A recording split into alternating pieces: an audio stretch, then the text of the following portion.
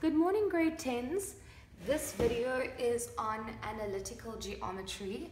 Um, it's a very, it's, it's not a difficult section and so I'm giving you a summary to start off. I'm giving you a summary of all the different um, formulas and once you learn those formulas and you learn how to use them you really will find this section fairly simple. Um, okay, so I'm going to explain to you what each formula is for. This is your distance formula and it says x2 minus x1 squared plus y2 minus y1 squared and then you square root that. Okay, now in analytical geometry, your x and your y are your um, coordinates. So for example, if I have my set of axes and this is the point um, 3 and 5, all right? This will represent your x and this will represent your y. You guys know this. If this is your x and your y axis, this is your y and this is your x. Okay, then let's say over here, I have a point negative, uh, oh sorry, uh, let's, that's not negative, 2 and negative 4. Let's say that's my point. Okay, again, this is your x and that is your y. So if this is a line, okay this let's say this is point A and that's point B. And they say they want the distance between point A and point B. You will use the distance formula and your x2 and your x1 are your coordinates here that let's say you can choose any one you want to be 2 and 1 so basically the rule with these formulas is if I start with this point I'm going to start with that point again Okay, so I know it sounds weird, but let me show you.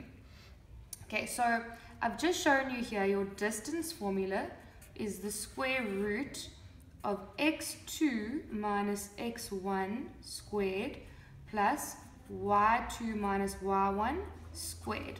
Okay, so if I'm going to use these two points, right, to fill in this formula, it's going to look like this. And if I choose, let's say I start with this point and I make x2 this x, then when I start this one y2, I must make y this one and start with this one. Okay, so let's just say I'm going to start with this point. So it's 3, so y2, I mean x2 minus x1. So this is your other x coordinate, which is 2 squared plus now I started with this as x2, now I must go back and make this y2. So it's 5 minus this y1, which is negative 4. And remember minus, so it would be minus minus 4. That whole thing is going to become a plus. Okay, now you can plug that whole thing into your calculator and you will get an answer. That is quite simple. All right, the next uh, formula is midpoint. So it's x1 plus x2 over 2 gives you your, this will give you your x part of the coordinate. And y1 plus y2 over 2, that will give you the y point of the coordinate. Remember, a midpoint is a coordinate. So let me get an extra page, then I can show you. Okay, so if this is my line, okay, let's say this is um, 5 and 7 and this is negative 2 and negative 4 okay? Your midpoint will be a point that is halfway through that line okay? And this is how you get each coordinate. So if they ask for the midpoint of this line I'm going to have x1 plus x2 over 2 and y1 plus y2 over 2. All right, so remember you choose one of the coordinates to be 1 and one of the coordinates to be 2. It doesn't matter which one you do, but if I choose that this is x1, that will be y1. If I choose this is x1, that will be y1. So you just stick with whichever point you labeled. Okay, so let's say now I want to work this out. So my midpoint over here, let's say this is x1, so it's going to be 5 plus x2 will be this negative 2. And then remember plus minus 2 will just become minus 2 over 2. then y1, I must go back to this because I started with this one as x1. So it'll be 7 plus, and this is negative 4. And it'll be all over 2. So essentially, this is going to become 5 minus 2 over 2. And this will become 7 minus 4 over 2, which is just going to become 3 over 2 and 7 minus 4 is also 3 over 2. Okay, so that would be your coordinate. Alright, so I hope you understand what I mean by x1 and x2. You must make sure if you start with one point, you go back to that point again. Okay, um, the next one is gradient. Gradient we always represent with an M. Okay, now gradient basically means how steep or um, how flat a, a curve, or sorry, not a curve, a line is. So if this is a um, ramp, okay, your gradient is how steep or how flat this line is. Okay, so this formula is simple. It's y2 minus y1 over x2 minus x1.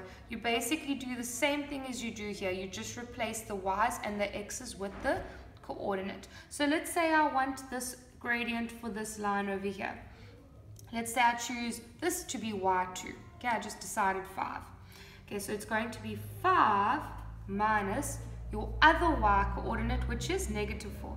So it's minus minus 4 over, then I go back to x2, which I decided was this one. So it's 3 minus 2. Then remember minus minus becomes a plus, so it becomes 5 plus 4, which is 9 over 3 minus 2 is 1. So this gradient is just 9.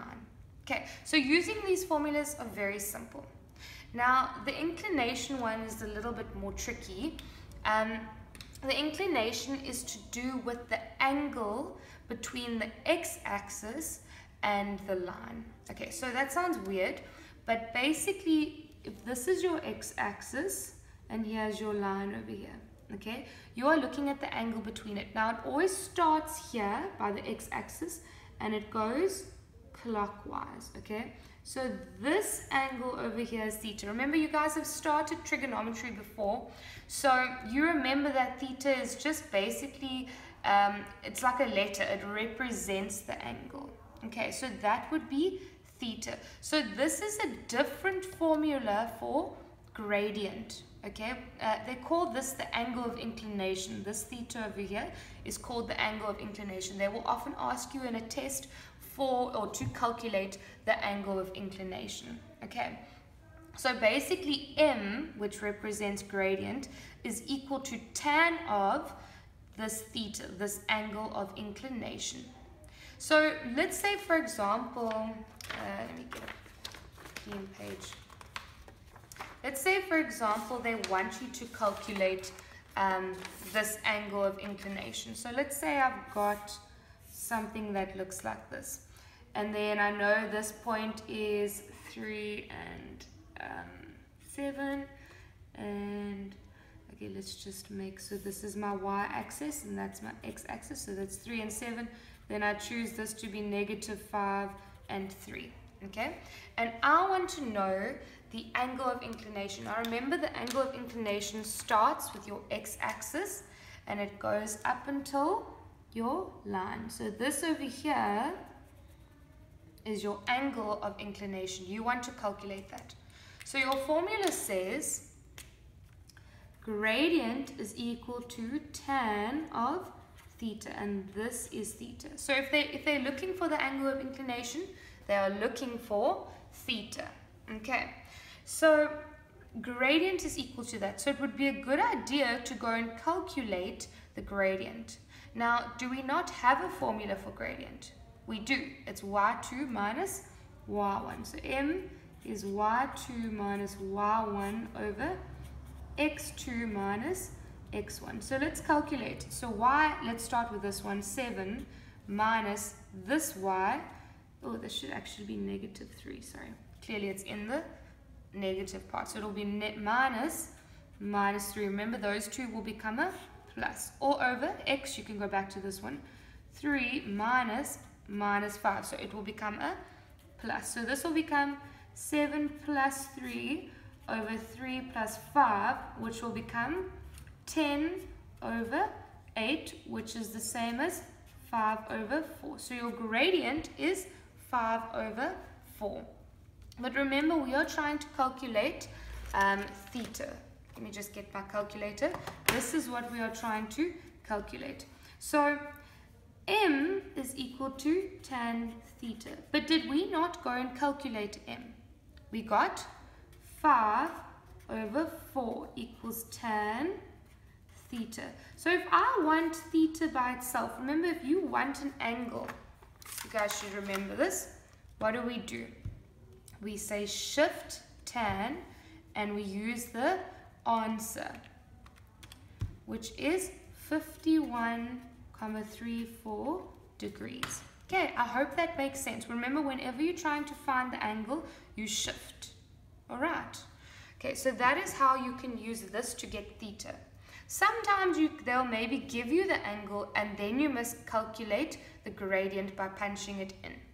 Okay, now the other thing I wanted to make clear is this angle of inclination always goes clockwise. So if this is my line, maybe this way, okay? The angle of inclination, it's not this angle. It's this whole angle, okay? It's this whole angle over there. Okay, so when you go and calculate it, make sure that you get the reflex angle. But when we, because I'm going to continue by doing proper examples now, exam questions, when I get to one of these, I will show you what to do. All right, but I hope that you understand and that makes sense. Okay, lastly, there's one extra little note that I need to show you here. You guys know this is the perpendicular sign and that's the parallel sign.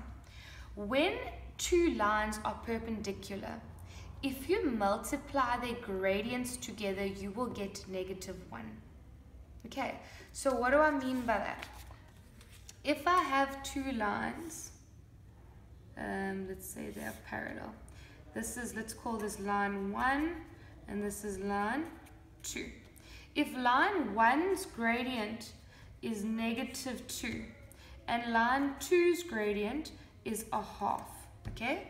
Watch what happens. Gradient 1 times gradient 2 will be equal to minus 2 times a half. And if you calculate that on your calculator, you will get negative 1. If something is perpendicular, whenever you multiply their gradients, you will always get negative 1. Okay, so usually you, you will use this in a bit of a reverse fashion. Okay, so usually what they'll do is they'll say to you, um, AB, let's say this is AB. This line's gradient is negative 3, okay? Please calculate the gradient of line CD. Now you know it's perpendicular, but you need to find the gradient of CD. All that you have to do, okay, is you take, so this, let's say, uh, gradient of AB equals negative 3. To get the gradient of CD, you must invert it and change the sign. Now, what do I mean by invert? If this is 3 over 5, to invert it, it will become 5 over 3. So this is the gradient, minus 3, but remember, it's always over an imaginary 1. So to get a parallel lines gradient, I'm going to flip it so it becomes 1 over 3 and I'm going to change the sign. It was a negative, so it now becomes a positive. Okay, so if they ever tell you that two lines are perpendicular and you need to somehow, either you need to use the gradient or you need to find the gradient, um, you're going to flip it and you're going to change the sign if it is perpendicular. Okay. And if it is parallel, the gradient is the same. So in other words, I have two lines that look like this. So this is AB and this is line CD. Okay, this line's gradient is 5. Because these are parallel, this one's gradient will also be 5. I mean, if you think about it, the inclination is the same, the angle is the same here. So their gradient must be the same. Okay, so this is basically like a summary page. I'll send a picture of this to the group. This is what you need to know for analytical geometry before you can go and answer questions. So make sure you copy this down, make sure you study the formulas. They will usually give you the formulas, but you need to know how to use them. Okay, let me check how many minutes we are.